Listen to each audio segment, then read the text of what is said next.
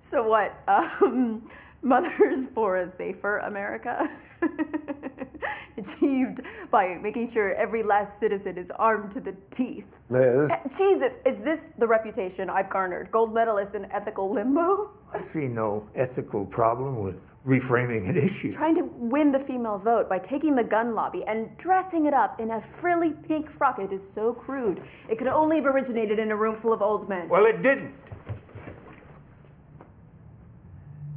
This is my own idea. Well, my advice is to kill it in utero. You'll need more than the trite wisdom that we value security to get us behind your views on the Second Amendment.